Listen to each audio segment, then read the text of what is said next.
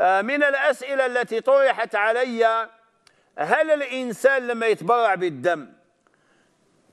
يعني هل يجب أن لا يذهب دمه إلا إلى مسلم وإلا إلى رجل صالح وإلا إلى رجل تقي؟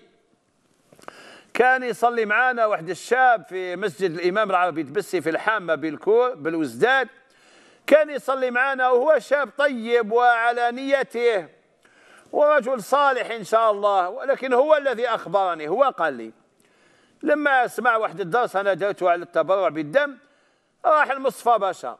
هذه قصة قديمة يعني. قال لي رحت للطبيب قال لي قلت له يا طبيب أنا حاب نتبرع بدمي. قال له مرحبا بك وما شاء الله والحمد لله الوعي تاع الشباب وصل إلى هذه الدرجة ولا هما يجوا يتبرعوا بالدم. يعني الطبيب فرح بزاف ما شاء الله.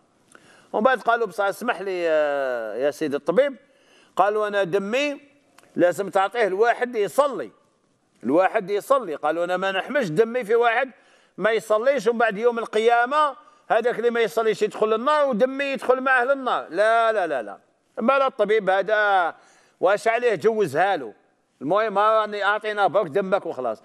قالوا لا لا مليحة فكره شابة و... وإن شاء الله إحنا إن شاء الله كاش كاش ما مريض يكون مسحق نشوفوا اللي يصلي نعطوه له كذا هذه جوزها له على مضض. وشنو هو الشرط الثالث تاعو؟ هنا الطبيب قال له نوض اخرج عليا. الشرط الثالث قال له والشرط أن يبقى يصلي حتى يموت. قالوا أنا نخاف تعطي دمي الواحد.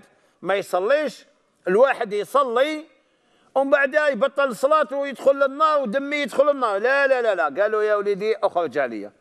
قال له الشرط عليا يصلي؟ آه نعم. الشرط عليا آه ما يكون يكون ما يصليش ما تعطيلوش دمك وافقت لك. ولكن نضمن لك باللي يبقى يصلي حتى يموت هذا أمر خارج عن نطاقي. أما الإنسان لا, لا يشترط هذا. وعمل عمل خيري إن شاء الله. يعني آه، مما يشكر عليه الإخوة آه، في إسبانيا في أليكانت.